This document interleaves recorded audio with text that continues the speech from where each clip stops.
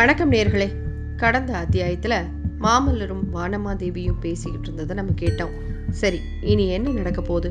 போர் ஆரம்பிக்க போதா? இதை பத்தி எல்லாம் தெரிஞ்சுக்கலாமா? ஒன்பதாம் அத்தியாயம் யுத்த பேரிகை.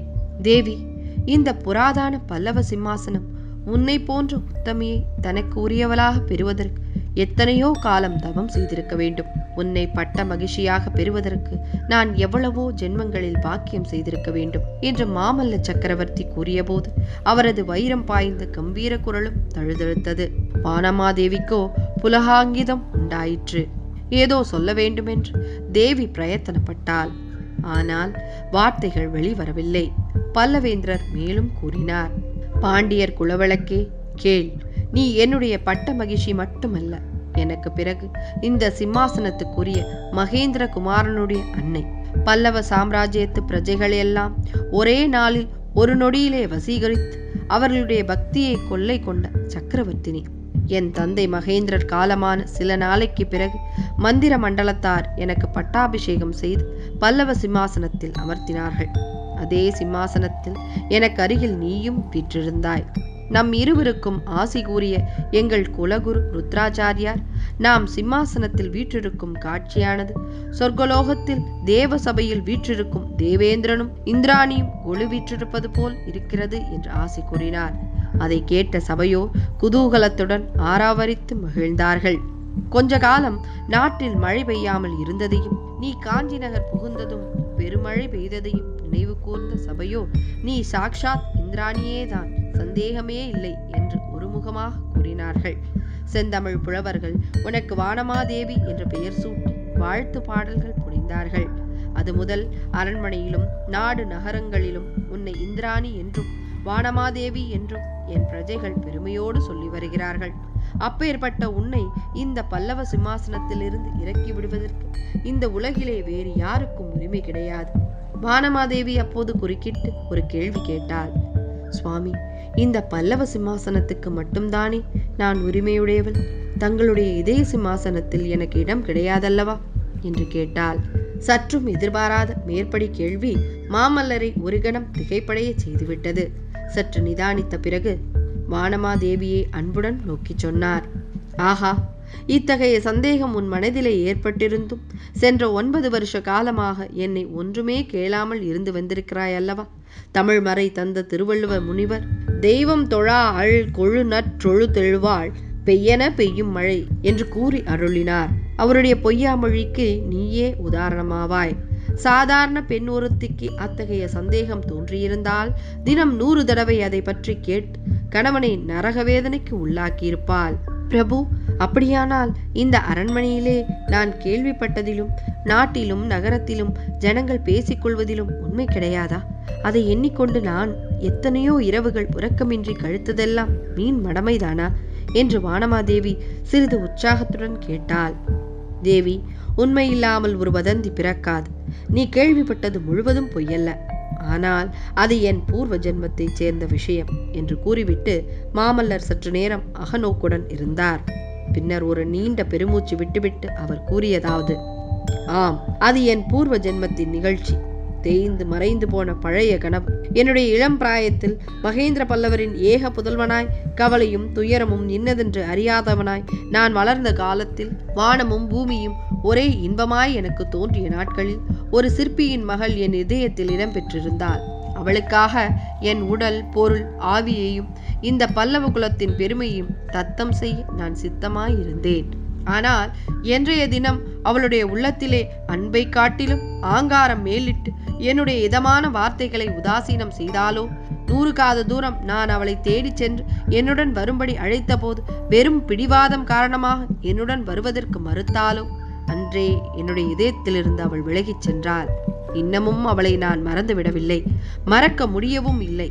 இதற்கு காரணம் அவளுக்கு நான் அன்று கொடுத்த வாக்குறுதியை இன்னும் நிறைவேற்றாமல் இருப்பதுதான். தூரதேசத்தில் பகைவர்களுடைய கோட்டைக்குள்ளே வசிக்கும் சிவகாமியின் ஆவியானது என்னை இடைவிடாமல் சுற்றி சுற்றி வந்து பகலில் அமைதி இல்லாமலும் இரவில் தூக்கமில்லாமலும் செய்து வருகிறது. இன்றைய தினம் நான் கொடுத்த வாக்குறுதியை நிறைவேற்றுகிறேனோ? வாதாபியை வென்று அவளை விடுதலை செய்து தந்தையிடம் ஒப்புவிக்கிறேனோ? அன்று அந்த பாதகியின் ஆவி என்னை சுற்றுவதும் நின்று போய்விடும். அன்றைக்கே அவளுடைய நினைவை என் உள்ளத்திலிருந்து வேரோடு பிடுங்கி எரிந்து விடுவேன். பின்னர் என் மனதிலே உன்னையும் நமது அருமை குழந்தைகளையும் இந்த பல்லவ சாம்ராஜ்யத்தின் மகோனதத்தையும் தவிர வேறெதுவும் இடம்பெறாது. தேவி நான் சொல்வதில் உனக்கு நம்பிக்கை ஏற்படுகிறதா? அல்லது இதெல்லாம் உலகில் காமத்தூரர்களான புருஷர்கள் சாதாரணமாய் சொல்லும் பசப்பு வார்த்தைகள் என்றே நினைக்கிறாயா? என்று மாமல்லர் கேட்டார். வானமாதேவி அந்த கடமை தந்த கட்டிலிருந்து கீழிறங்கி மாமல்லரின் பாதங்களை தொட்டு பிரபு தங்களுடைய வார்த்தை எதிலும் நான் அவநம்பிக்கை கொள்ளேன் தங்களுடைய வாக்குகளுக்கு விரோதமாக என் கண் எதிரிலேயே தாங்கள் நடந்து கொள்வதாக தோன்றுமானால் என் கண்களின் பேரிலேதான் அவநம்பிக்கை கொள்வேன். தங்களை சந்தேகிக்க மாட்டேன்.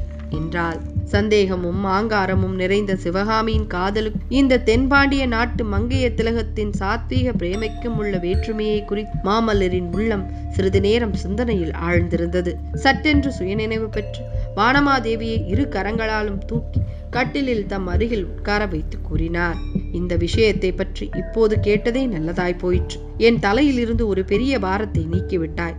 அதற்கு ஈடாக உன்னிடம் இந்த பெரிய ராஜ்யத்தின் பாரத்தை நான் ஒப்புவித்துவிட்டு போகப் போகிறேன். நான் இல்லாத காலத்தில் மந்திரி மண்டலத்தார் ராஜ்ய விவகாரங்களை கவனித்துக் கொள்வார்கள் என்றாலும் முக்கியமான காரியங்களில் உன்னுடைய அபிப்பிராயத்தை கேட்டே செய்வார்கள். ஆனால் தேவி ஒரு முக்கியமான காரியத்தை மட்டும் உன்னுடைய தனி பொறுப்பாக ஒப்புவிக்கப் போகிறேன். அதை அவசியம் நிறைவேற்றி தருவதாக நீ எனக்கு வாக்களிக்க வேண்டும் என்று சக்கரவர்த்தி கேட்டதும் வானமாதேவியின் முகத்தில் பெருமித கிளர்ச்சி காணப்பட்டது. பிரபு இந்த அபலை பெண்ணினால் ஆகக்கூடிய காரியம் ஏதேனும் இருந்தால் கட்டளையிடுங்கள். அதை என்னுடைய பரம பாக்கியமாக கருதி நிறைவேற்றி வைக்கிறேன் என்றால் காரியம் இருக்கிறது. அது மிகவும் முக்கியமான காரியம். உன் சகோதரன் மகன் நெடுமாறன் ஒரு பெரிய சைன்யத்துடன் வாதாபி படையெடுப்பில் என்னோடு சேர்ந்து கொள்வதற்காக புறப்பட்டான். இன்னும் வந்து சேரவில்லை. வராக நதிக்கரையில் தேக அசௌக்கியம் காரணமாக தங்கியிருப்பதாகவும் ஒரு வாரத்தில் காஞ்சிக்கு வந்து சேருவதாகவும் அதுவரையில் நான் அவனுக்காக காத்திருக்க வேண்டும் என்று சொல்லி அனுப்பியிருக்கிறான். அப்படி தாமதிப்பது அசாத்தியமான காரியம். நமது குலகுரு பார்த்து சொன்ன நாளில் நான் கிளம்பியே தீர வேண்டும் தேவி வழியில் நெடுமாறன் சமணர்களின் மாய வலையிலே விழுந்திருப்பதாக எனக்கு செய்தி எட்டியிருக்கிறது. சமணர்கள் என் மீது எப்படியாவது பழிதீர்க்க வஞ்சம் கொண்டிருப்பதை நீ அறிவாய். இந்த நிலையில் நெடுமாறனால் இவ்விடம் தீங்கியதும் நேராமல் நீதான் பார்த்து கொள்ள வேண்டும் என்றார். இப்படி மாமல்லர் கூறி வாய் மூடுவதற்குள் வானமாதேவி பிரபு இந்த விஷயத்தில் தாங்கள் கொஞ்சமும் கவலையின்றி நிம்மதியாக செல்லுங்கள். என் பிறந்தகத்தைச் சேர்ந்தவர்களால் தங்களுக்கு எவ்வித கெடுதலும் நேர்வதற்கு நான் விடமாட்டேன். நெடுமாறனுக்கு அத்தகைய தீய எண்ணம் ஏதேனும் இருப்பதாக தெரிந்தால் இந்த கையிலேயே கத்தி எடுத்து அவனுடைய நெஞ்சிலே பாய்ச்சி கொன்று விடுவேன் என்று கம்பீரமாக பொழிந்தாள். மாமல்லர் லேசாக புன்னகை புரிந்துவிட்டு கூறினார். வேண்டாம் வேண்டாம் உன்னுடைய மல்லிகை இதழ் போல் மிருதுவான தளிர்கரங்களில் கத்தியை பிடித்தால் நோகுமல்லவா நீ கத்தி எடுக்க வேண்டாம். அப்படி ஒருவேளை அவசியம் நேர்ந்தால் நமச்சிவாய வைத்தியரை கேட்டு நல்ல விஷமாக வாங்கி வைத்துக்கொண்டு அந்த பாலிலே கலந்து கொடுத்துவிடு. ஆனால் அந்த மாதிரி அவசியம் ஒன்றும் அநேகமாக நேராது. என்னுடைய சந்தேகம் கொஞ்சம் ஆதாரமற்றதாய் இருக்கலாம். என்றாலும் ராஜ்ய பொறுப்பு வகிப்பவர்கள் இப்படியெல்லாம் சந்தேகப்பட்டு முன்ஜாக்கிரதை செய்தல் அவசியமாய் இருக்கிறது அதிலும் யுத்தத்துக்காக தூரதேசத்துக்கு கிளம்பும் போது சர்வ ஜாக்கிரதையாய் இருக்க வேண்டுமல்லவா? இப்படி மாமல்லர் கூடி முடித்தாரோ இல்லையோ? அரண்மனையின் கனமான நெடுஞ்சுவர்கள் எல்லாம் அதிர செய்து கொண்டு ஒரு பெருமுழக்கம் கேட்டது. கேட்கும் போதே ரோமசிலிர்ப்பு உண்டாகும்படியான அந்த சத்தம் வெளியிலே எங்கேயோ தொலைதூரத்திலிருந்து வருகிறதா? அல்லது தரைக்கு அடியிலே பாதாளத்திலேயுள்ள பூகற்பத்திலிருந்து வருகிறதா என்று தெரியாதபடி அந்த படுக்கை அறைக்குள்ளே எப்படியோ புகுந்து வந்து சூழ்ந்தது.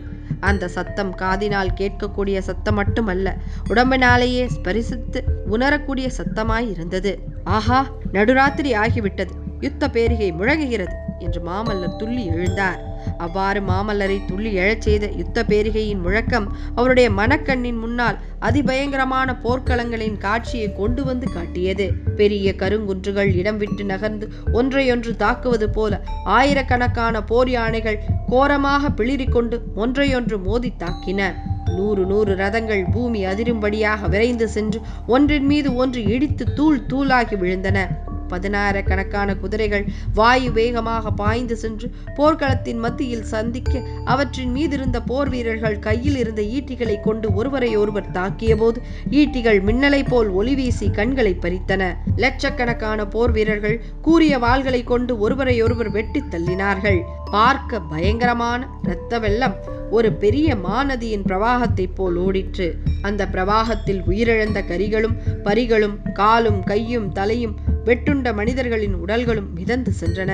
இந்த பயங்கரமான கோர காட்சியுடன் கலந்து கலந்து ஒரு பெண்ணின் ஆங்காரம் நிறைந்த முகத்தோற்றம் மாமல்லரின் அகக்காட்சியில் தென்பட்டது. அது சிற்பி மகள் சிவகாமியின் முகம்தான் என்று சொல்ல வேண்டியதில்லை அல்லவா? இதோட தான் இந்த அத்தியாயம் முடிவடையுது. ஒரு காலத்துல சிவகாமியினுடைய முகத்தை நினைச்சு நினைச்சு பூரிச்சிட்டு இருந்தவரு இப்போ அவளுடைய முகமே அகங்கார முகமா ஆன கதையை நம்ம பார்க்குறோம். சரி இனி என்ன நடக்க போகுது? போர் ஆரம்பிச்சிருச்சு. சிவகாமியை எப்படி காப்பாத்த போறாங்க? இதை பத்தி எல்லாம் தெரிஞ்சுக்கணும்னா தொடர்ந்து சிவகாமியின் சபதத்தோடு பயணிங்கள்